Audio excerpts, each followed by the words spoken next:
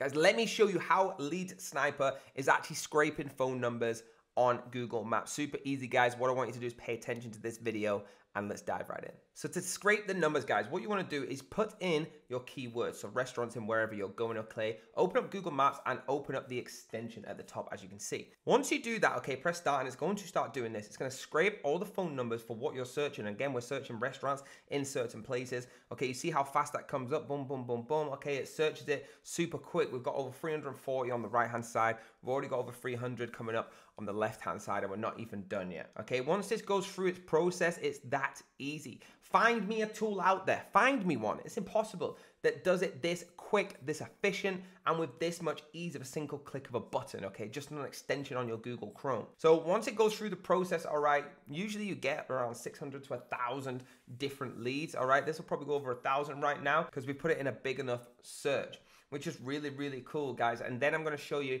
how we can actually export this into a very incredible document. You're about to see what I'm talking about and be mind blown. So guys, obviously, when you're doing this, please make sure you've got the keywords in there written correctly, okay? So all the keywords get searched exactly how you like. So we've got 1,033 on the left and 936 on the right-hand side. You export them, okay? Just showing you this detail. So download a CSV. What that's gonna do then is download to your files. You wanna drag that in to your files, okay? Just simply drop it in there.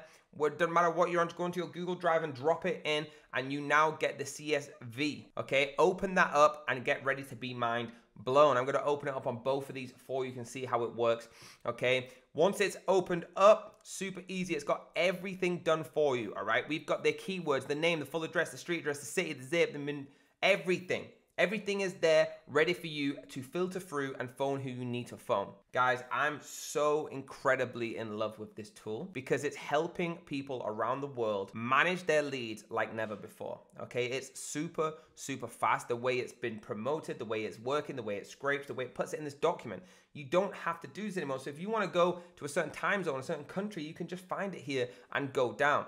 So guys, obviously we're doing this to get the phone numbers, the phone number one and phone number two that is registered online. This is completely fine and good to do because they have it publicly domained. Okay, so go down their numbers, simply scrape all the way down. You can copy them, put them into a separate sheet if you want, or leave them on that sheet. It's absolutely fine. But you can see how many numbers are on there right? Super, super easy and it gets done just like that. How easy was that, guys? Nearly a thousand numbers straight away, and it only took me a couple of minutes. Guys, it's so, so easy. So what I want you to do is go over now, hitting that link down below, get yourself involved. If you're not involved, if you're already involved, that's exactly how you do it. And make sure you hit that like, the subscribe, the bell when you get notified. The next time I'm gonna give you some of my extremely important knowledge, and I'll see you next time.